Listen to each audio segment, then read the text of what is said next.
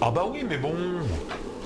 Oh, vous êtes au courant de cette plateforme en mer du Nord, euh, la plateforme Total, qui a, qui a une fuite de gaz, paraît-il. Donc ils ont été obligés de désaffecter la, la- la plateforme, se tirer, mais est-ce que ça va exploser? Est-ce que ça va polluer? Enfin, c'est...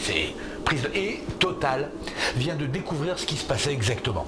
Donc c'est une fuite de gaz, et à quoi c'est dû? Eh bien... Une erreur humaine, encore une fois.